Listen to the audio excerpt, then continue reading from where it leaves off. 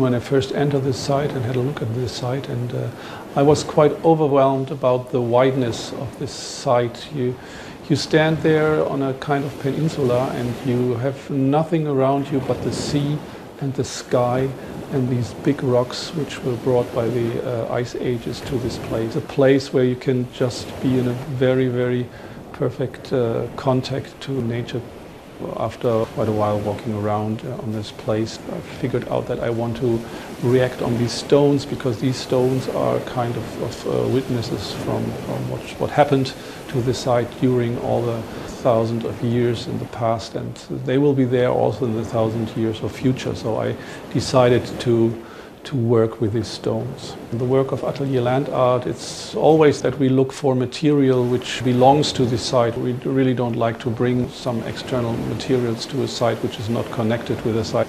Well, the artwork uh, present then on the XSites project are the three stones, and uh, as it could be seen from the pictures, we, out of material we found close by, we uh, made kind of woven stone structure, three big woven stones out of sticks, and they are kind of counterpart to the stones uh, on the side. They have the same size, the same shape, but they are hollow, they are light.